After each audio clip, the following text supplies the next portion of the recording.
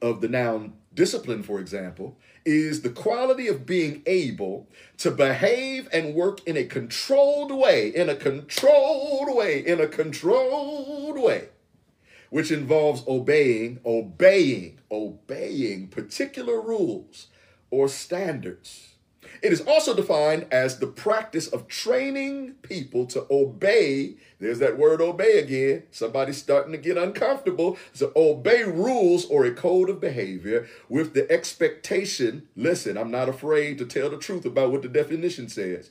With the expectation of punitive measures. Punitive is another word for punishment. Oh, I don't like where this is going with the expectation of punitive measures and outcomes being the result of failure in the practice and application of said code or behavior and conduct.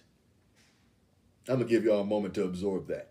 Okay, the moment's over. Meaning simply put, beloved, or in simpler terms, that there are consequences for failure to comply or to succeed with that discipline. See, why I got to be like that? That's one of the reasons why I'm decompressing from the faith.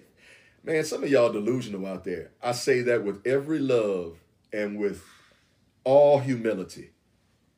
We're coming, and so many of us are dangerously coming near to a deluded place and premise. Yeah.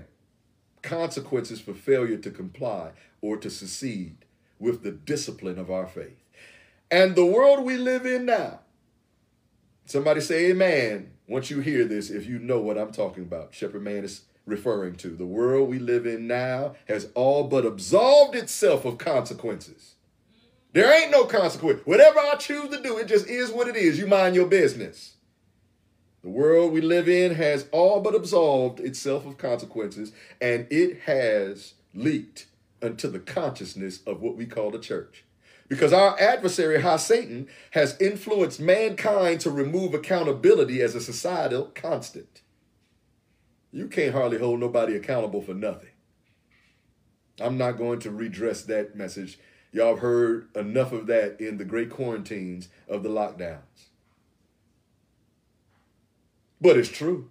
Where has accountability gone? And where accountability is absent, people are not going to want to face consequence.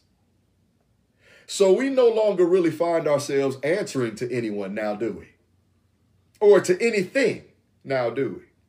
Particularly with regards to what we feel like our choices should be. It is the embodiment of a free will. I don't know why any